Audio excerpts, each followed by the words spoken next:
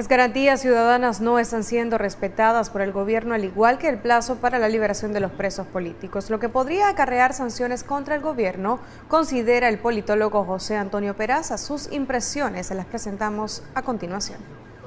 José Antonio Peraza no ve con optimismo el vencimiento del plazo para la liberación de los presos políticos de este 18 de junio por cuanto aún permanecen encarceladas 86 personas y aún no se cumplen con los acuerdos de derechos y garantías ciudadanas firmadas entre la Alianza Cívica y el gobierno en marzo pasado.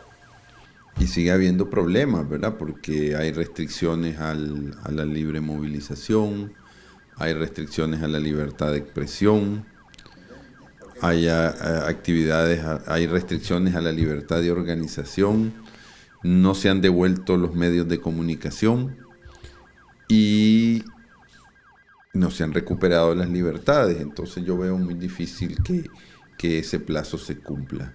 El próximo 20 de junio, el Congreso de Estados Unidos escuchará el informe de Nicaragua sobre violaciones a derechos humanos y los legisladores norteamericanos estarían aplicando sanciones individuales, dijo el politólogo Peraza y cómo va. Me imagino que va a dar alguna ruta de cómo va a proceder el gobierno de Estados Unidos, más o menos, en aplicar algunas sanciones.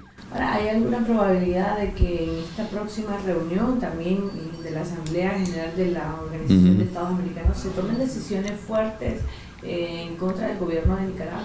No, yo lo dudo porque eh, la gente cree que el día, ese día se van a definir muchas cosas y no, no es así porque esa es una reunión ordinaria de la Asamblea General, o sea, los ministros de Relaciones Exteriores de los 34 países van a estar ahí, o la mayoría. Y en esas reuniones no se toman decisiones como suspender algún país, pero posiblemente en esas discusiones que van a haber en Colombia, en Medellín, se van a poner las bases de qué es lo que va a hacer con Nicaragua y se van a comprobar cuántos votos se tienen. La única salida a la crisis que le queda a los nicaragüenses son elecciones justas, transparentes y adelantadas, insistió el politólogo.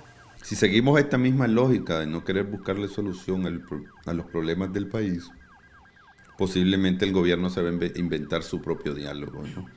Va a inventar su propio diálogo donde va a tratar de eh, aliarse con fuerzas, digamos, que son satélites o semisatélites de ellos y crear un diálogo alterno donde traten de hacer una reforma electoral que no reforme nada con miras a llegar al, al año 2021.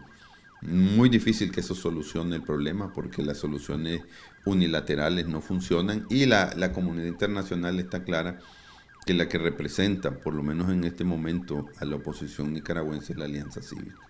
Michelle Polanco Alvarado, Acción 10.